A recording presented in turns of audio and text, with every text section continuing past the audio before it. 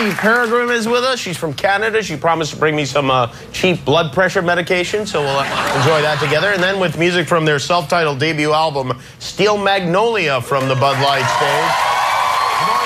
Joined by Jason Bateman from the Cincinnati Bengals, uh, Dhani Jones, and comedian Hannibal Buress. And later this week, Shia LaBeouf. Kevin Nealon will be here, Green Bay Packers quarterback Aaron Rodgers, Dave Salmoni and his terrifying animals, and we'll have music from Parachute and 311. So join us for our show. Our first guest tonight is one of the funniest men around with an exceptionally funny show. The show is called Louie. You can watch it Thursdays at 10:30 on FX. Please say hello to Louis C.K.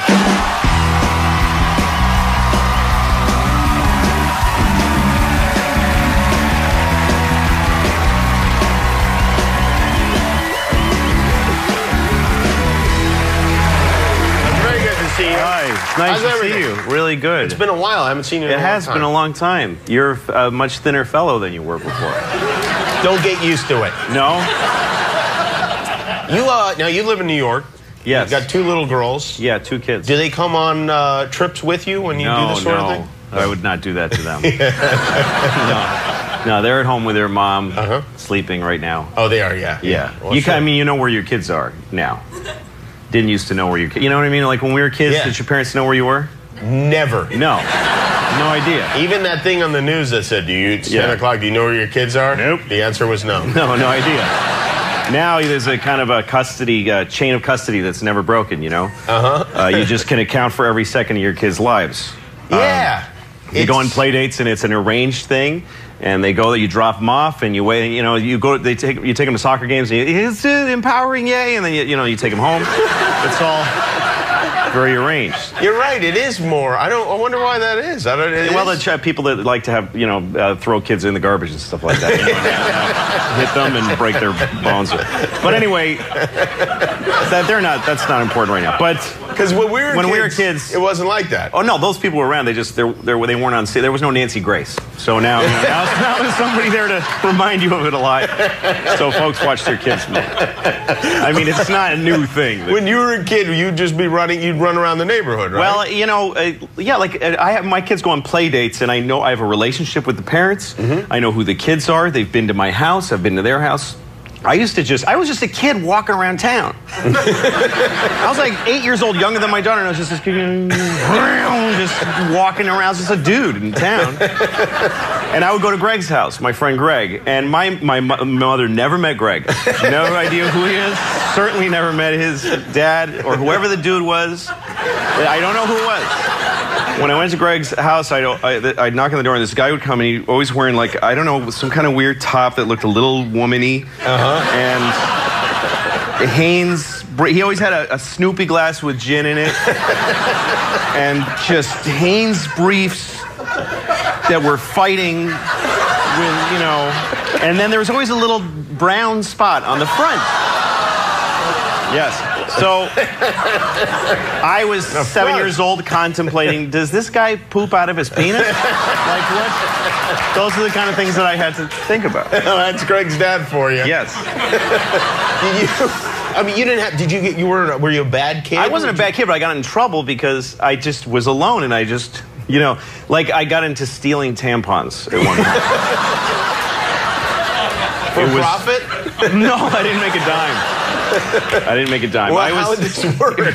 I hesitate to ask, but how lady. would this work? No, I was eight years old, and I just went into a CVS one day because I just roamed store aisles, and uh, and I was at looking at the tampons, and I was sort of staring at them with this.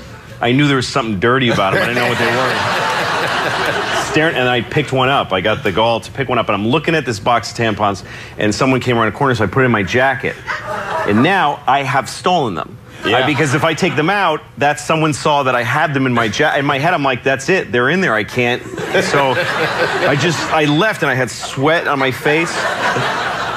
And I just went home and I threw them under my bed. And I'm eating dinner like I, everybody knows I have tampons under my bed. And so it was a terrible, stressful experience, Yeah. which I then repeated every day for like two months. What? I'd go back and I'd just do the whole cycle. I just kept doing it. Like a and no, I never got caught. I mean, they probably saw me, but the guy's like, I'm not confronting the kid who takes the tampons. I'll pay for him out of my check before I live that moment. I'm not asking that little pervert what he's doing with those.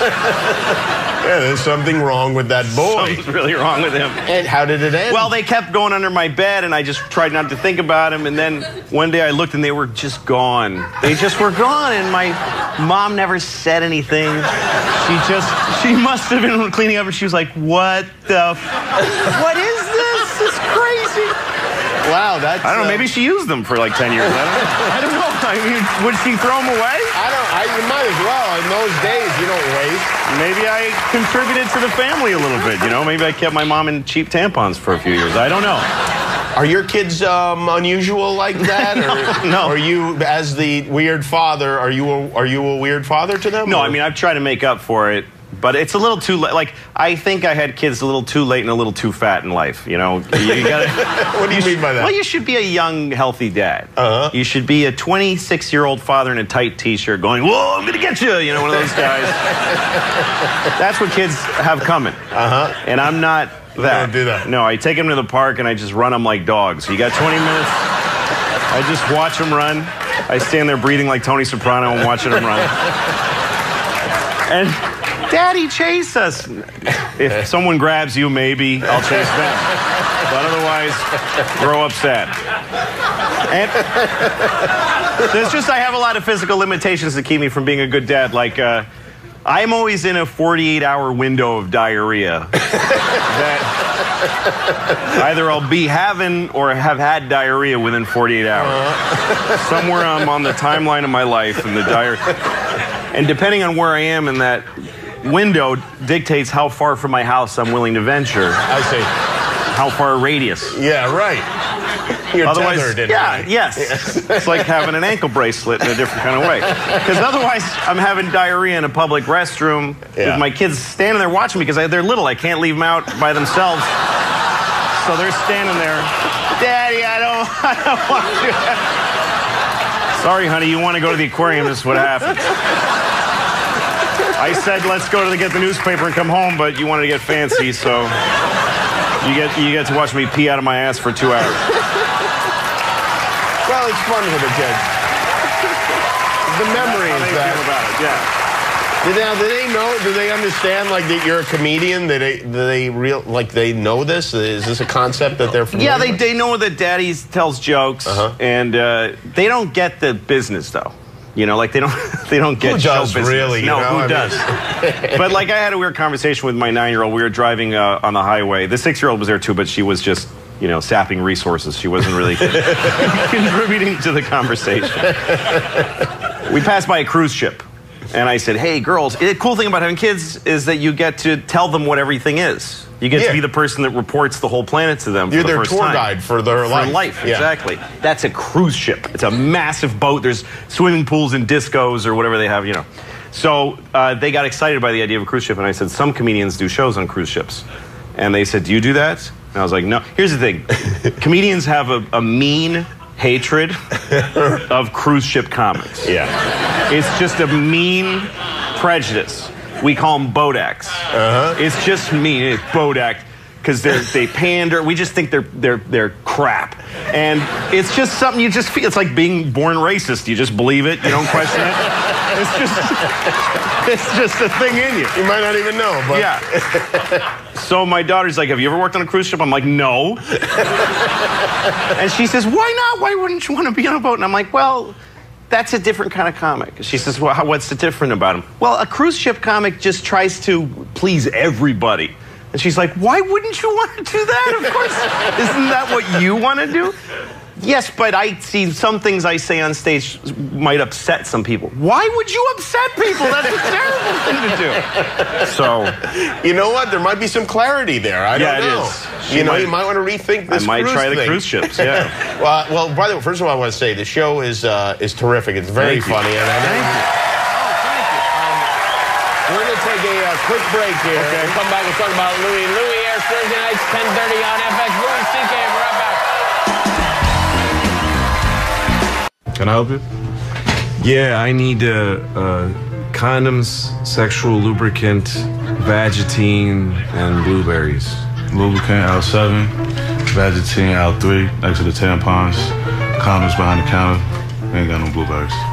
Thank you. That's Louis C.K.'s show. Louie.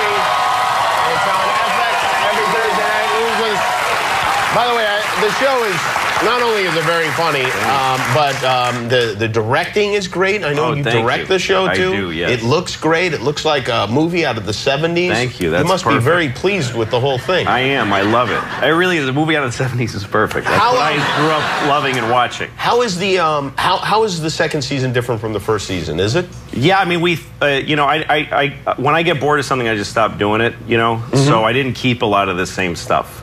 Like, we moved to a, a new apartment. It's a whole other, but there's no scene where it happened. I just stopped being in that one and started another one.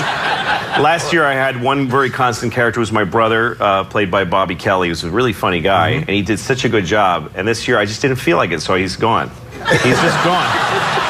He's gone. I didn't kill him in an episode. He just, it's like he never existed. But the great thing for him is it's uh, in a way like Lost, where he could possibly Yes. come back. Yeah, right? he might. He, I guess I'd have to have a good idea. I didn't. I didn't have any ideas for him, so I just stopped. This. I just. he- he's not in the reality of the show anymore, like he never was. So now I have two sisters. Right. And one of them, and none of this reflects my life. The show's all fiction. But the the first episode this season uh, introduces my sister Yes. as this character, and it's a big introduction. And uh, it's the last thing we shot because I came up with it like right before we wrapped. So she's just gone. She just doesn't come. There's a whole thing where she comes and I love her. Gone. Never see her again. Really? Yes. And my neighbor comes and helps me, and he's a really nice guy. And the last thing he says is, "Remember who your neighbors are." And I go, "Yes, I would." And he's gone too. He's Really? gonna- Because gone. it seemed like you were going to then have a, like a neighborly, friendly gone. relationship. Never- you'll never see him again. See him. No, and, and last year I had this woman play my mother, and uh, she was this uh, crazy, horrible woman. It's not, my mother's a really nice person. So I just made up this terrible mother character played by this uh, Mary Louise Wilson, really funny actor. And so we did the episode. And then later in the season, I wanted to do a flashback to my real mother, who was really nice, so I did that too. And so everybody was very confused. These characters are so in, insanely different. And the woman who played my mother as a young woman is a woman I date in another episode. It's just a whole other person. because she was good at both parts. So I just don't care. It's an ensemble well, cast. every episode just has its own goal. Uh-huh. And if it messes up the goal of another episode, I don't give a I just don't care. I like that. You're very fickle and the hell with it. That's and right. You know what? If any If of you don't like it, fire me. Yeah, that's right. It's a very Darwinist system television. No one should get too comfortable with anything. No, man, if Not it the actors stinks, on I'm set, gone. And No. not the viewers at home. That's right. Louis C.K., everybody. Louis Night